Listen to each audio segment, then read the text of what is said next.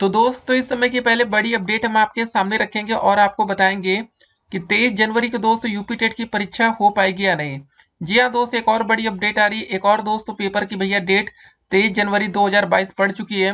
पूरी अपडेट को हम आपके सामने रखेंगे और उसके बाद बात करेंगे। 2019 बैच के लिए दोस्तों कुछ बड़ी अपडेट है, इसको देखेंगे। नई शिक्षक भर्ती में किसी मिलेगा मौका? जी हाँ दोस्तों, क्या 2019 बैच के छात्र नई भर्ती के लिए एलिजिबल हो पाएँगे या बाहर हो जाएँगे? फेल छात्रों के लिए दोस्तों क्या खबर है? पूरी अपडेट को देखेंगे। उसके बाद दोस्तों बात करेंगे जो हमारा फ़र्स्ट सेमेस्टर का रिज़ल्ट घोषित होने वाला था, जिसको दोस्तों ये कहा गया कि ये रिज़ल्ट हमारा ऑफलाइन मोड पे आएगा। लेकिन दोस्तों आपको बता दें, जब थर्ड सेमेस्टर को प्रमोट किया गया था 2018 बैच में तो छात्रों का जो रिज़ल्ट घोषित किया गया था दोस्तों, वो ऑनलाइन मोड में घोषित किया गया था। तो क्या दोस्तों ऐसा 2019 बैच के छात्रों के साथ नहीं हो सकता? अगर ऑनलाइन रिज़ल्ट नहीं आएगा तो कुल मिला आप ये मान के चलिएगा, ऑफलाइन रिज़ल्ट तैयार करने में ज़्यादा समय लगेगा और उसके बाद जो नई भर्ती का पूरा मामला है, इसको भी हमें यहाँ पर थोड़ा ध्यान में रखना है। तो जरा दोस्तों, पूरी अपडेट को यहाँ पर हम देखते हैं और समझते हैं कि अभी क्या क्या होने वाला है। और देखिए, एक और बड़ी अपडेट है आपके सामने रख दे। सीटेट 2021 एडमिट कार्ड कैसे डाउनलोड करना है? तो फ़िलहाल दोस्तों, हमने कमेंट बॉक्स में इसके लिए भी डायरेक्ट लिंक दे दिया, जहाँ से आप सीटेट का एडमिट कार्ड डाउनलोड कर सकते हैं। एडमिट कार्ड डाउनलोड करने के लिए सिर्फ़ आपको अप्लीकेशन नंबर की ज़रूरत पड़ेगी और आपको अपना डेट ऑफ़ बर्थ। ठीक है, आसानी से आप अपना एडमिट कार्ड डाउनलोड कर सकते हैं। एक और दोस्तों बड़ी बात आ रही है। उत्तर प्रदेश में सात चरणों में ही चुनाव कराने की तैयारी है। जी हाँ दोस्तों, जब चुनाव का मुद्दा आप समझते होंगे तो एक बात आपके समझ में आ रही होगी, आचार संहिता कब लागू की जाएगी? आचार संहिता आने के बाद, लागू करने के बाद मतलब ये समझ लीजिए, उसके बाद तो नई भर्ती का नोटिफिकेशन नहीं आ सकता। तो कुल मिला के नई भर्ती का जो नोटिफिकेशन है, आचार संहिता लागू होने से पहले सरकार को जारी करना पड़ेगा। उसके बाद एक और दोस्तों बड़ी अपडेट। उसके बाद दोस्तों एक और बड़ी अपडेट को आपके सामने रखेंगे कि परिषदीय विद्यालयों में जल्द होगी चौकीदारों की तैनाती। जी हाँ दोस्तों, चौकीदार की क्या अपडेट है? पूरी अपडेट आपके सामने रखेंगे। फिर एक और अपडेट। बेसिक शिक्षा मंत्री के इस जवाब से नाराज़ हुए उनहत्तर हज़ार शिक्षक भर्ती के अभ्यर्थी। प्रदर्शन के दौरान दोस्तों पुलिस से गुत्थम गुत्था, धक्कम धुक्की। पूरी अपडेट को आपके सामने रखेंगे। क्या दोस्तों मामला है?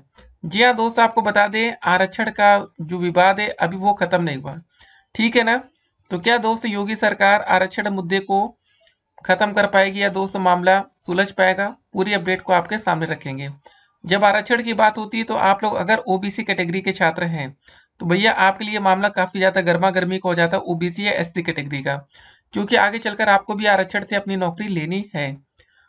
तो इस वीडियो में दोस्तों हम 18 दिसंबर 2021 आज सुबह से लेकर रात तक की बड़ी अपडेट को और कुछ अपडेट 19 दिसंबर की इस वीडियो में देख रहे हैं। तो एक एक करके दोस्तों आज की अपडेट को देखेंगे। पहले चलिए दोस्तों बात हो जाए उनहत्तर हज़ार शिक्षक भर्ती का। जी हाँ दोस्तों, ये आपके सीनियर छात्र हैं। ठीक है तो मामला क्या है कि उनहत्तर हज़ार शिक्षक भर्ती में नियमानुसार आरक्षण लागू करने की मांग को लेकर शनिवार को दो सौ सैकड़ों शिक्षक भर्ती अभ्यर्थी ने बेसिक शिक्षा मंत्री सतीश द्विवेदी के आवास पर प्रदर्शन किया।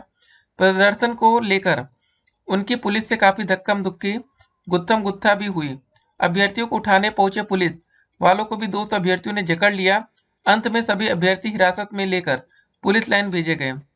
आरक्षण पीड़ित अभ्यर्थियों का कहना था कि इस भर्ती में ओबीसी को सत्ताईस प्रतिशत की जगह मात्र तीन दशमलव आठ छह प्रतिशत आरक्षण दिया गया है, तथा एससी वर्ग को इस भर्ती में इक्कीस परसेंट की जगह सोलह दशमलव छह प्रतिशत आरक्षण दिया गया है। तो दोस्तों, आप अंदाज़ा लगा सकते हो ओबीसी कैटेगरी का जो आरक्षण है, सत्ताईस परसेंट लेकिन मिला, कितना? तीन दशमलव आठ छह प्रतिशत। तो कितना बड़ा घोटाला है, आप यहाँ से समझ सकते हैं। एससी कैटेगरी में दोस्तों, घोटाला ये है, जो कि आपके सामने है। तो कुल मिला आप ये समझिए ओबीसी वर्ग को इस भर्ती में उनके कोटे की अट्ठानवे सीट में से मात्र दो हज़ार छः सौ सैंतीस सीट ही दी गई है, जो पूरी तरह से गलत है।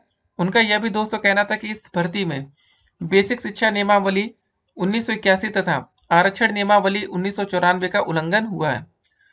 अभ्यर्थियों का कहना था कि 29 अप्रैल 2021 को इस भर्ती में राष्ट्रीय पिछड़ा वर्ग आयोग ने भी घोटाला मानते हुए अपनी एक रिपोर्ट जारी की है।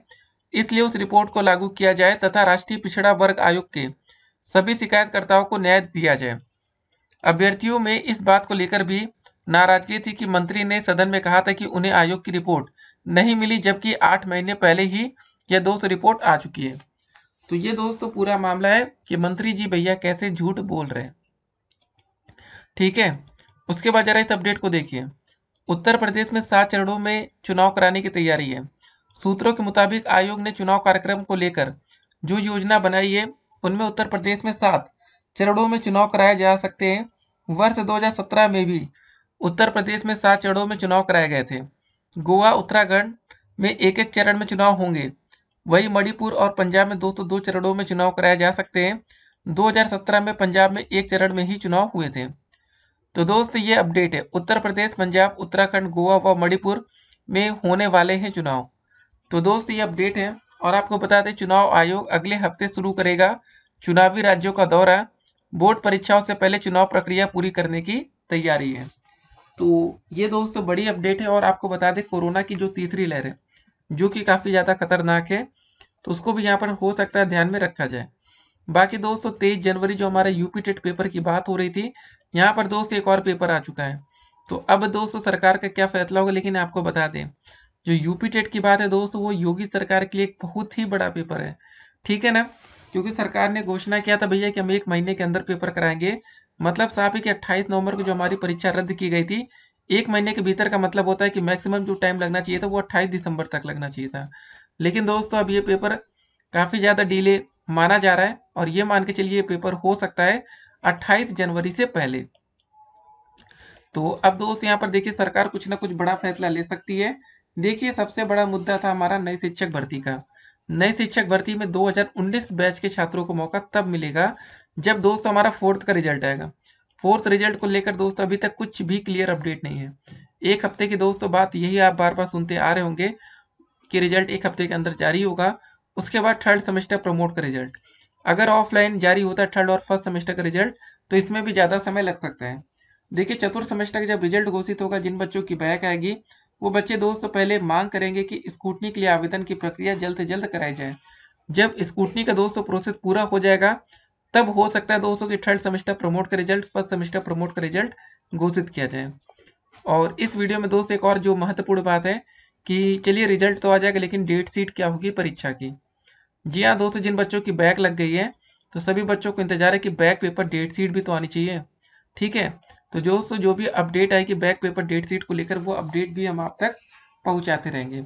फ़िलहाल आपसे बस यही है कि आप लोग परीक्षा की तैयारी अच्छे से करिए लापरवाही मत करिए। अगर आपका सीटेट का पेपर पड़ा है तो सीटेट की तैयारी दोस्तों बहुत ही अच्छे से आपको करना है। छोटी सी भी दोस्तों गलती होगी सीटेट को लेकर तो पेपर आपका खराब हो सकता है। बाकी जो भी अपडेट आएगी सीटेट 2021 को लेकर, उस अपडेट को आप तक पहुंचाएँगे और डीएलएड 2019 बैच की भी अपडेट आप तक पहुंचाएँगे। बाकी दोस्तों, जो प्रमोट का मुद्दा था, जरा आपको पहले हम क्लियर कर दें। अगर आप द्वितीय सेमेस्टर, सेकेंड सेमेस्टर का मतलब आपने पेपर दिया है, या आपको प्रमोट अभी तक नहीं किया गया तो सिंपल सी बात है उम्मीद दोस्तों अभी तक यही है कि आप लोगों का थर्ड सेमेस्टर का एग्ज़ाम कराया जाएगा। क्योंकि अभी तक प्रमोट को लेकर कोई भी नोटिस नहीं आई है। तो फ़िलहाल आप लोग थर्ड के साथ साथ फोर्थ दोनों की तैयारी कर सकते हैं। क्योंकि देखिए, आपके पास दो ही विकल्प या तो संघर्ष करिए, या तो थर्ड सेमेस्टर का पेपर दीजिए। ठीक है, जब बात संघर्ष की आती धरने की आती तो बच्चे इकट्ठा हो नहीं पाते। तो सिंपल सी बात है कि आपको फिर थर्ड का ही पेपर देना पड़ेगा। ठीक है, समय कम है। और आपको बता दें, इस समय परीक्षा की डेट शीट तो जल्द से जल्द जारी करवाना भी बेहद ज़रूरी है। क्योंकि जिन बच्चों की बैक अभी फोर्थ सेमेस्टर में लगेगी, उनको जल्द से जल्द मौका मिलेगा ताकि वो बच्चे अपनी बैक क्लियर करें और नए शिक्षक भर्ती के लिए एलिजिबल हो सके। और सबसे बड़ी बात वीडियो के अंत में दोस्तों जाते जाते, कि क्लियर दोस्त यही हो रहा है कि अब नई शिक्षक भर्ती का नोटिफिकेशन आने में बहुत ही ज़्यादा दिक्कत आ सकती है। इन केस अगर वैकेंसी का नोटिफिकेशन आ गया, तब भी दोस्तों 2019 बैच के लिए सबसे बड़ी दिक्कत आएगी टेट की परीक्षा। ना तो यूपी टेट का पेपर हुआ, ना तो सी टेट का। और सी टेट का पेपर दोस्तों हमारा तेरह जनवरी तक चलने वाला था, लेकिन सोलह दिसंबर और सत्रह दिसंबर का जो पेपर कैंसिल हुआ, उसके चलते दोस्तों अब इस डेट को भी आगे बढ़ा दिया जाएगा। कुल मिला के आप ये मान के चलिए कि पेपर तेरह जनवरी के बाद भी कराया जाएगा। मतलब जो सीटेट का पेपर पहले एक दिन में दोस्तों हो जाता था, जिसमें नॉर्मलाइजेशन की कभी नौबत नहीं आई, अब उस सीटेट में दोस्तों आपको ढेर सारी दिक्कतों का सामना करना पड़ेगा। और याद रखिए नॉर्मलाइजेशन से कभी आप खुश मत होइएगा। सबसे खराब चीज़ नॉर्मलाइजेशन ही होता है। ठीक है कभी कभी दोस्त, आप लगेगा कि यार नब्बे नंबर पाकर हम पास हो रहे हैं। पता चला नॉर्मलाइजेशन यूज़ हो गया, नब्बे से आप पहुँच गए पचासी नंबर पे। नब्बे से पहुँच गए चौरासी नंबर पे। तब बताइए, उस नॉर्मलाइजेशन की वजह से आपको फेल होना पड़ सकता है? किस्मत अच्छी रही तो हो सकता है कि भैया आप, किस्मत अच्छी भी हो सकती है, ऐसी बात नहीं। अगर मान लेते आप पचासी नंबर पा रहे नॉर्मलाइजेशन हो गया जनरल कैटेगरी के छात्र आप इक्यानवे नंबर पहुँच जाए, पंचानवे नंबर पहुँच जाए, ऐसा भी हो सकता है। लेकिन दोस्तों, किस्मत किस्मत की बात है, लेकिन यहाँ पर किस्मत का यूज़ हमें नहीं करना है। फ़िलहाल दोस्तों, होता है ना कि सीटेट का नॉर्मल था पेपर तो यहाँ पर दोस्तों, अगर नॉर्मलाइजेशन ना लगता, तब भी ठीक था, लेकिन नॉर्मलाइजेशन की ज़रूरत इसलिए पड़ी क्योंकि भैया पेपर एक दिन तो होना नहीं, लगातार होना है। हो सकता है किसी बच्चे का पेपर आसान, किसी का कठिन आ जाए तो वो दिक्कत दूर करने के लिए नॉर्मलाइजेशन का यूज़ होता है। इससे अच्छा दोस्त, यही था कि सीटेट को पेपर अपना ऑफलाइन करा देना चाहिए था, वो ज़्यादा बेटर होता। है सभी बच्चों का पेपर सेम होता। है ठीक है, सुरक्षा को थोड़ा ज़्यादा टाइट करते वो ज़्यादा बेहतर था। लेकिन ऑनलाइन पेपर का विकल्प बेहद खराब है, क्योंकि बच्चों का सेंटर दूसरे जिलों में गया दूर दूर चला गया, किसी का सौ किलोमीटर, किसी का दो सौ। सीटेड तो भैया सीबीएसई वाले एक रुपये तो किराया देंगे नहीं। बारह सौ रुपये अपना उधर खा लिए।